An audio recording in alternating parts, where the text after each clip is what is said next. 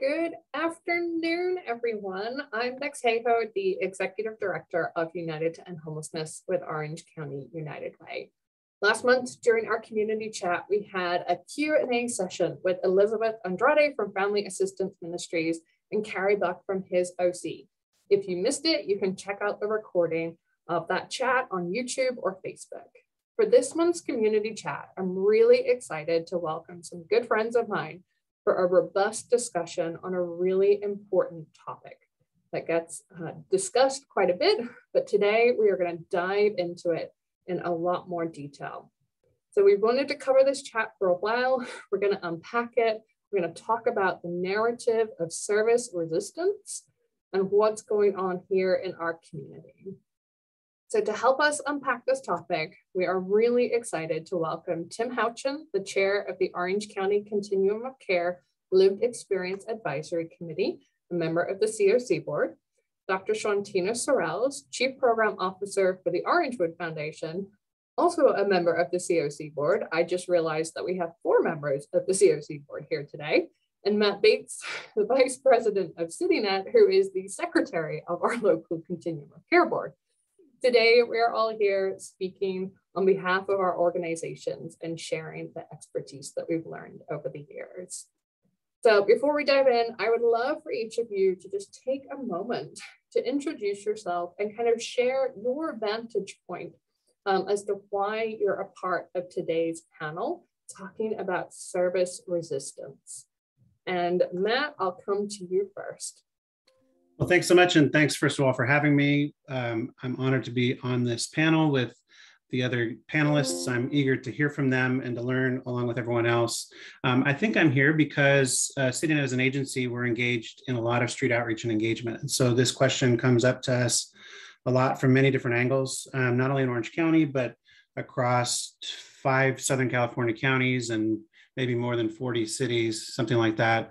Um, we're working day in, day out um, with unsheltered homeless neighbors who are living um, in the streets trying to connect them to services. And so um, this question about connecting individuals to services is one that uh, we deal with quite a lot. And um, like I said, I'm, I'm eager to hear what the others have to say as well.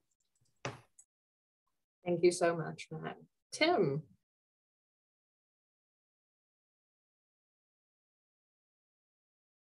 Uh, thanks for having me. Uh, I'm Tim Houchen.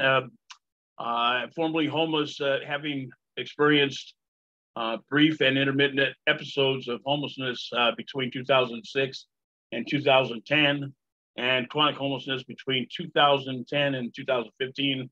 Uh, and during that time, I lived at the Civic Center in uh, Santa Ana. I am, um, as was said, I, am a chairman of the Lived Experience Advisory Committee for the COC. and um, I also have been organizer of events um, in recognition of Homeless Persons Memorial Day held each year on December 21st since 2014.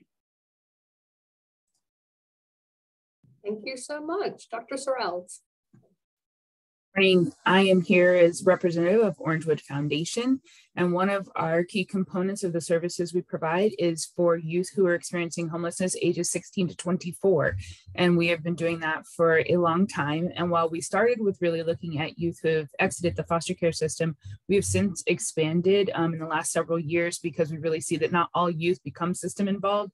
And so they may also experience homelessness outside of that. In fact, many of them do. And so our services are really centered in that. I also have personal experience having exited the foster care system um, at 18 with and experiencing homelessness myself, and then also as a child. So that is my experience and why I'm here and what I hope to share with you all today. Thank you so much. I'm really excited to have the different vantage points that you all bring um, come into this discussion.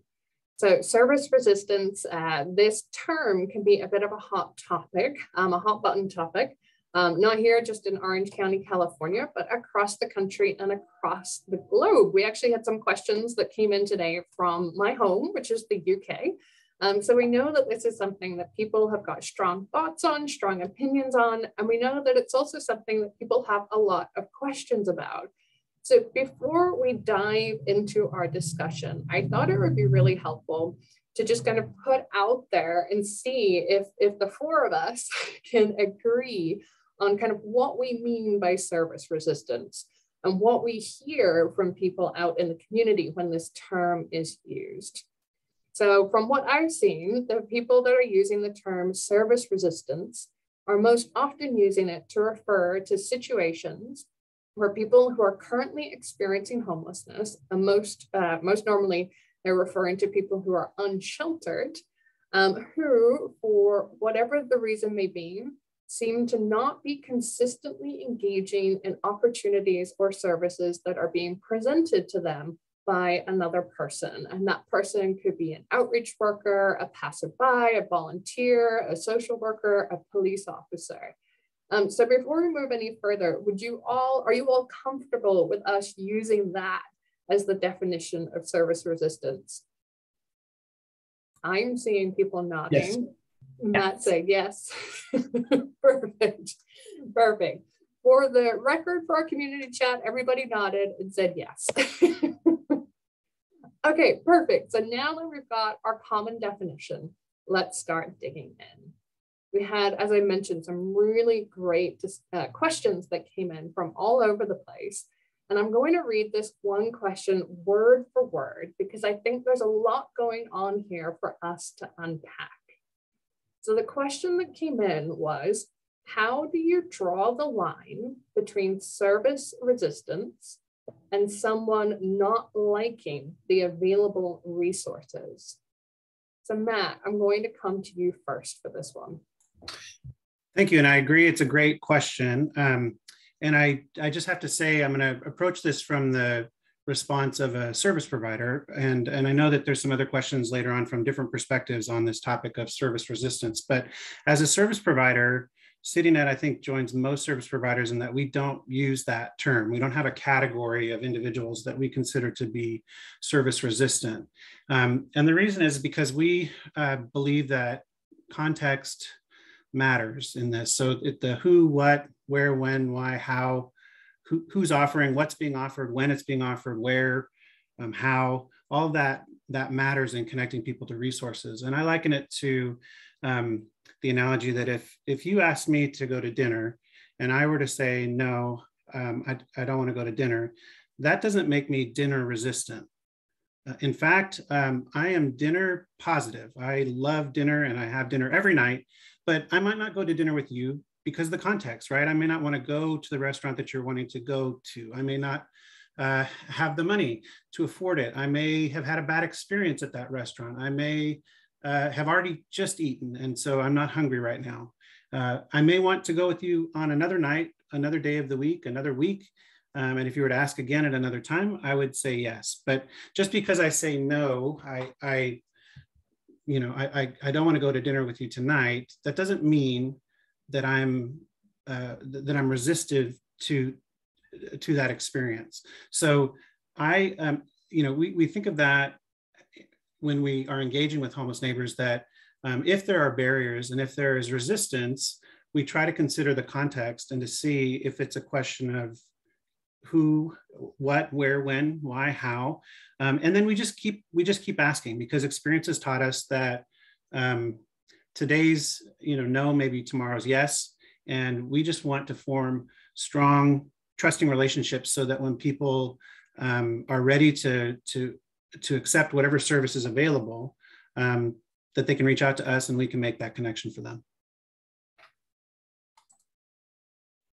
That's a great way to kick us off. Thank you, Matt. And one thing that I really took away from there that I just want to kind of re re-echo is what you said about the fact that service providers don't tend to use the terminology service resistant. And so I think that's a really important takeaway that I just wanted to kind of pull out, highlight, and underline. Um, and so now that I've done that, Tim, I'd like to come to you.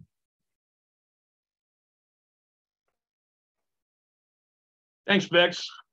Yes, people are drawing the line on the issue of service resistance among persons experiencing homelessness, along with another term, sometimes used in a negative sense, shelter resistance, uh, which wrongfully sometimes creates the perception that homeless persons would rather choose not to have a roof over their head than accept staying in a homeless shelter based on frivolous preference. Both terms perhaps imply that severe mental illness is somehow involved in making these choices. This is not necessarily true, according to some mental health experts who are studying how stress and trauma are playing a critical role in the decisions made by homeless persons to shelter or not. Persons experiencing homelessness are constantly under stress to determine healthy, safe, and secure places to sleep at night, as well as where and when their next decent meal will come from. They experience stress while trying to manage and secure their few personal possessions from frequent and random theft from other homeless persons or confiscation by law enforcement. The events experienced prior to becoming homeless are often, often traumatizing. Loss of employment, eviction, separation from loved ones, isolation, etc. Once becoming homeless, a, a person may be further traumatized by neglect, psychological, physical, or sexual abuse, or exposure to extreme violence to oneself or others. Chronic homelessness is chronic exposure to stress and chronic exposure to trauma that could lead to post-traumatic stress disorder, says the National Health Care for the Homeless Council. But not all homeless systems are trauma informed enough to identify PTSD in their homeless clients and consumers. Today's conventional homeless shelters may be considered may not be considered as suitable for persons affected by stress and trauma, and therefore they may choose not to live in an open warehouse type setting with little privacy and little room for movement. They may have concerns for personal safety once inside the shelter, fearing violence upon themselves or other shelter residents. Conventional shelters may make them feel vulnerable to confrontation and verbal or physical abuse from other shelter residents, and in some cases, members of shelter staff. They may feel uncomfortable leaving personal possessions behind upon leaving the shelter during the day, fearing that possessions might be stolen or thrown away.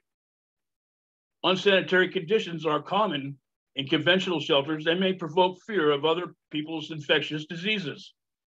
This was a fear that was made real during the recent pandemic when nearly every homeless shelter in Orange County experienced widespread outbreaks of coronavirus if we are going to draw a line on service or shelter resistance, then we should do so by eliminating many of the reasons why persons experiencing homelessness are choosing to live on the streets rather than in conventional shelters. Standards of trauma informed care need to be implemented in the design of shelter facilities, in addition to the service and care that we are providing, uh, offered and being offered at these facilities.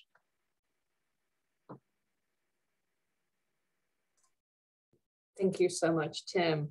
There are a couple of things that you mentioned that I kind of want to want to pull out. One is the trauma related, and we're going to have another question on that shortly. And so, just for anybody watching, we are going to dig into the impacts of trauma in a moment. And then the other part that you mentioned, Tim, just about kind of shelters and why people. Uh, thank you first for your insights and helping us understand that in a much better way. And it, what it really kind of drew out for me was the idea of are the services that we're offering actually meeting the needs of the people who we're trying to help? And so when we're trying to offer something that may not actually meet the real needs, then of course people may not say yes or may not want to accept something that's not meeting their real needs. And so that I think was something really important for us to remember as a system is making sure that we are providing services that meet real needs and doing that in a way that is trauma informed and following best practices. So thank you so much, Tim, for bringing those pieces out and highlighting them for our discussion today. And so Dr. Sorrells, I'm gonna come to you now um, to close us out for this first big question. Absolutely. And I would echo both of what my colleagues have said, but really thinking from the transitional age youth perspective, or that 16 to 24, you have a couple of other factors to really factor in. When you look at primarily who are in the different services, you typically either have very child focused services or adult focused services. And very few services out there are really tailored to the 16 to 24 population. And to be very honest, it's very different being a 16 to 24 year old. If you can remember any of us, it's a very different time frame. It's a different way of thinking because one, adolescent brain development, adolescent brains are on a whole different trajectory than when they are once we're post 25. And so really thinking about that decision making and the thought process, it definitely ties into a lot of what Tim said but also even more where they are very socially motivated. They are looking at a lens that is different. Our society has also deemed that these youth have more opportunity and they should just get out there, go to college, get a job, and do their thing. And so the utilization of a service almost seems like that's not made for them. It's not something that they should actually take advantage of. They should leave it for someone else. It should be something that someone else utilizes. And so that's a real challenge when we're talking about transitional age youth and the way they view the services in addition, the other thing is do they see themselves in our messages? Are we messaging to them? How many of us are using TikTok or Instagram or different ways to talk about our services?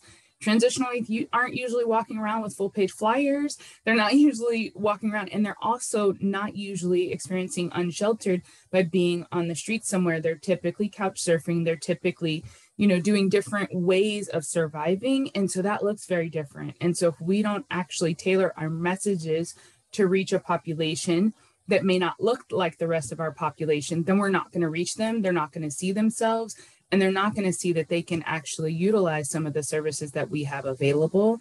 And last but not least is really thinking about how we deliver services. When you're talking about that adolescent brain development, we can't teach, you know, we can't treat them like children, but we also have to understand that their decision making and where they're at is not quite at the well versed adult side. And so we have to really walk them through things. We can't hand them a list of resources and expect them to carry it out. We can't assume that they know how to fill out an application. So there's a lot of different things where we have to take a step back and really ask them and explore what they need so we can actually meet their services where they are at and make sure that it's a part of what they need to get done. Thank you so much. And I, I think what you said just kind of built on what we had heard from both Tim and Matt. And so it's, it's interesting to hear three different perspectives, three different areas of expertise, but all saying very similar things around, you know, what are, I love what Matt was saying about he's not dinner resistant, um, but it depends. What is the dinner? Is he hungry? Has he eaten? Has he not? And that just kind of really reinforces what I was hearing from everybody, which are are the services that we have in the system appropriate to the needs of people in our community? And how do we communicate about those services? How are they being offered? Um, how are people being engaged? And so a lot, a lot for us uh, to, to be thinking about. And so I want to come back now to what Tim was talking about when it comes to trauma. And so, Dr. Sorrells, I'm going to ask you um, to talk kind of uh, more deeply into this um, and, and talk about kind of what could be going on in somebody's brain. What might be happening um, when somebody is being potentially offered services, but they've experienced significant trauma in their life? I'd love to hear from you. Absolutely. And I'll reiterate actually quite a, the main points that Tim made, which were fantastic. Um, to summarize them, we call those trauma triggers. And so basically, when something really, really dangerous or life threatening or just really scary happens, we all incur trauma. We have all been in a car accident or something where we fell and maybe we were really scared in that moment. That's trauma. But then when you take that and you compound it, it becomes what we call complex trauma, um, and it happens over time. And so when you have that complex trauma, multiple experiences of danger, multiple experiences of safety, then you tend to, your brain tends to relate all new situations as dangerous. Anything that comes into play that is something you're not familiar with could be potentially dangerous. We call it hyperarousal, hypervigilance, hyperawareness something in that category, but it really is about seeing things that you don't know or understand as something that could harm you potentially. And our brain does that automatically. It's not a conscious thinking, it's not something that you're going, oh, I see this, I see this, I do it. Our brain jumps there after we've had so many experiences that can leave us in a stage of flight, flight, or freeze. Um, or fawning, that's the other one that we like to throw out there as well. The other thing is avoidance and numbing. So this can also come into play when not wanting to be not wanting to have to face your past traumas because a lot of times to receive services and move forward you have to tell them why you're experiencing homelessness. You have to tell them what's going on. You have to tell them in your life what's what's happening so that you can get help. But a lot of people aren't ready and it may be actually psychological damaging to start there for them. And so they often don't want to jump into that pool of their past and the hurts and the things that have happened just to receive services. And so that's an ad- additional challenge. And then last but not least is one thing we call invisible suitcase. And this is all of the experiences that they have collected over their lives and how they view themselves. And it starts to become a self-image and a self-belief about yourself that you are not deserving or you are not worthy or this is something that you could never achieve. And so you can sometimes shut down about what is actually available to you. And so that can come into play um, additionally. And all of this is stored in the brain and it's all something that your brain does to protect you. But unfortunately to those of us who are providing services it can really look like maybe they don't want something or they don't like something but a lot of times it's their brain protecting them from the past hurts and traumas that they've experienced. And the last thing I will add, I was just thinking about it, is the chosen family. So when you've built a network, you've built a safe place, at least with people that you trust, to be removed from that. Most people who have been system involved, incarcerated, or foster care do not want to be removed from a chosen family or people that they have picked to be in their lives and placed somewhere where they don't know anyone because that is something that they've experienced. Thank you so much. That was a lot of information in a really short space of time. So thank you for packing that in there. Uh, Tim, I'm going to come back to you. Anything that you'd like to add to this from your perspective? Oh, Tim, we can't hear you. I said, no, I don't really have anything to add because I couldn't put it in, in any better words than that. I, Perfect. Well, thank you, Tim. Um, I do want to just put out a couple of book recommendations. If anybody was kind of really intrigued about this topic and the impact of trauma, two books that I would recommend. One is What Happened to You. Uh, it's a conversation between Oprah and um, a doctor whose name I can't remember, but they're Bruce having. Perry. Oh, sorry. Say that again. Bruce Bruce Perry. Thank you.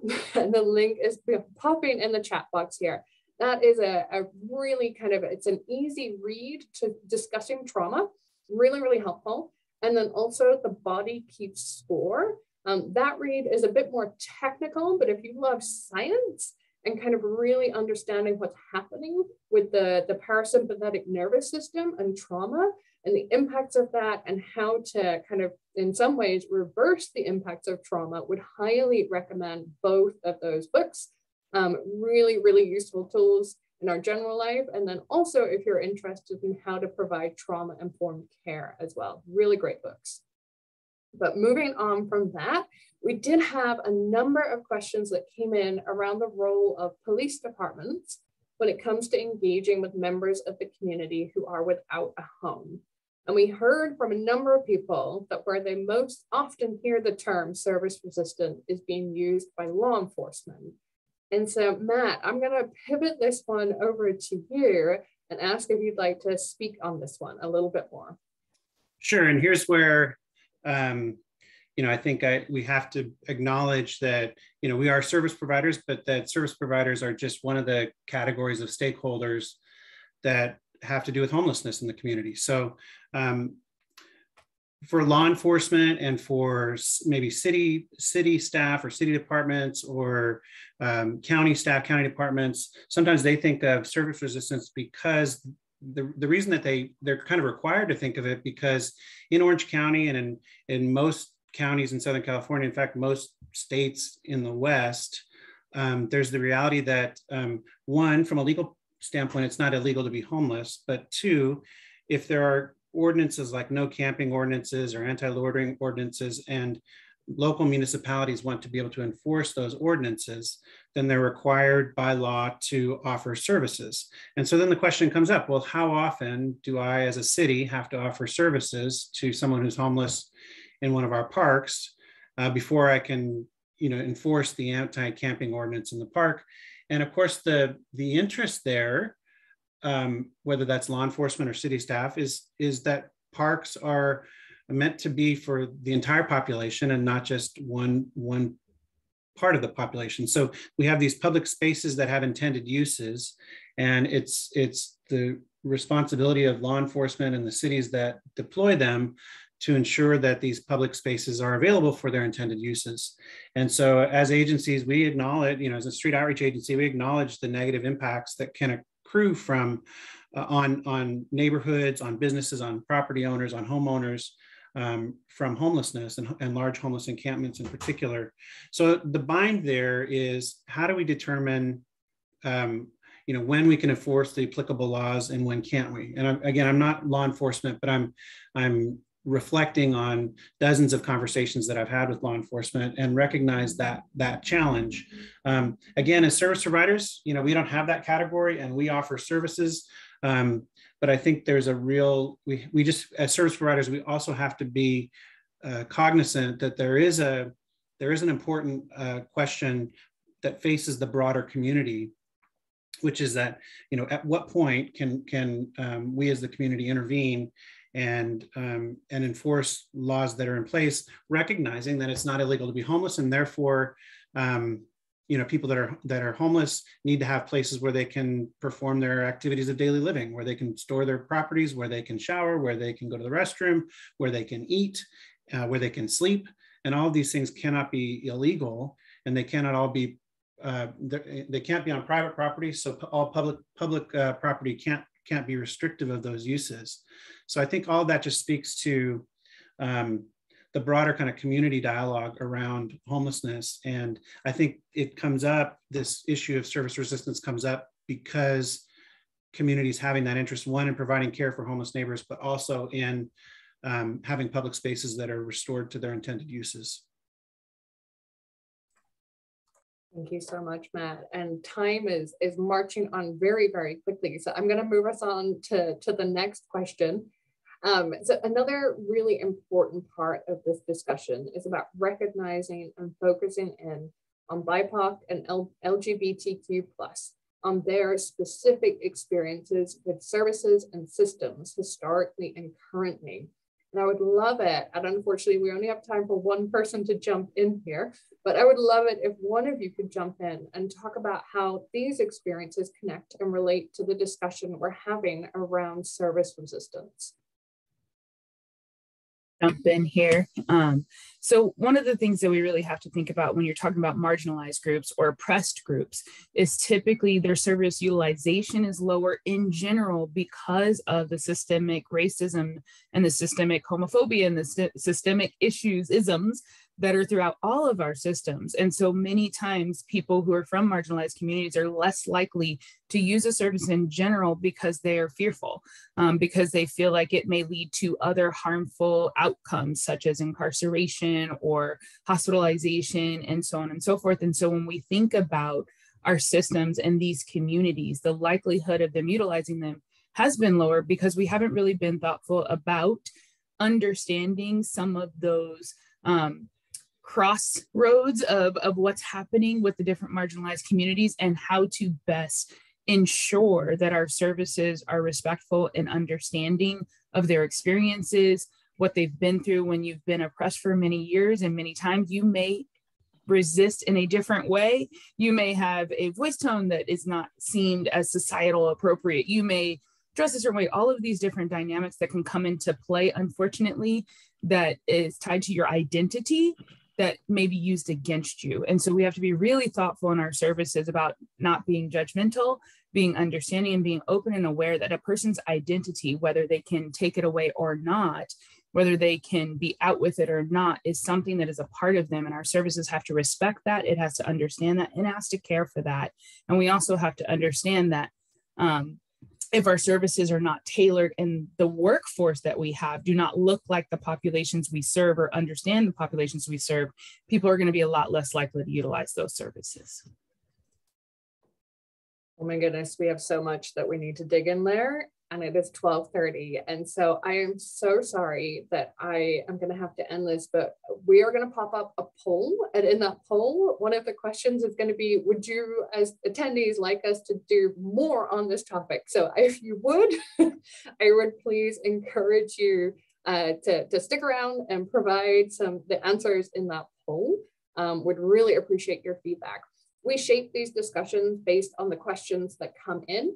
Uh, we weren't able to get through all of the questions today because it was just, there were some really good things that we wanted to make sure that we covered. Um, and so just thank you to everybody who sent in questions. Thank you to everybody who tuned in today.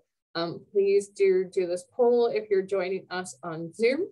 Um, this chat will go live on our Facebook and our YouTube, so please feel free to share that link with anybody who might have missed it that you think would benefit from watching this chat.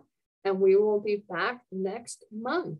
And so thank you again to our speakers for joining us and for a fantastic conversation that I have a feeling may just be part one of digging into this topic. Thank you, everyone.